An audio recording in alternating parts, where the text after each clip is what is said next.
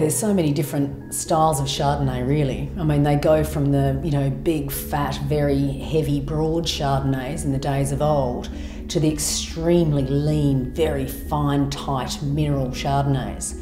Now Margaret River Chardonnay sits somewhere in the middle. We have the power, the fruit and the weight that comes into the wine, but we also have those layers of complexity and that tightness and minerality that finesses the wine considerably. What we've learned is embracing the environment by not clarifying the Chardonnay when, when it goes to barrel, using only the natural yeast from the vineyards that give us this wild and wonderful characteristic. Our environment is so clean that we end up having a beautiful yeast health culture in the vineyard. So we just allow the natural yeast to perform and they have their own personality and character. And every little section of Chardonnay has its own personality and character of yeast population. So we get all these unique parcels, wonderful character that comes from the vineyard. So we're taking a bit more of a risk in allowing that really high solids juice to ferment out naturally. Your wine is exposed to any number of other uh, microbial processes while it's fermenting.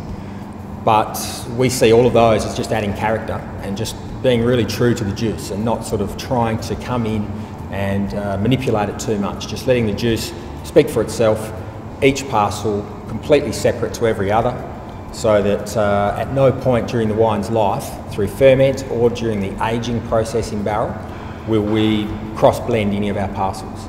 And then it's only after eight, nine months that we look at all those Chardonnays as potential blending components to put together.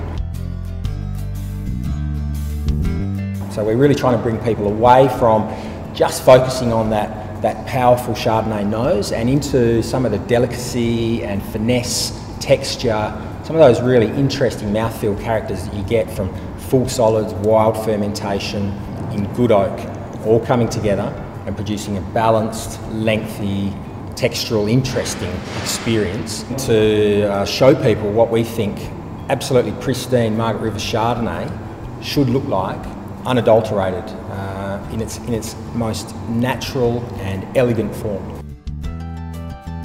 Every region has its own style, and I think the style of Margaret River has wonderful prominence, wonderful character and personality that I think is, is so attractive to so many people.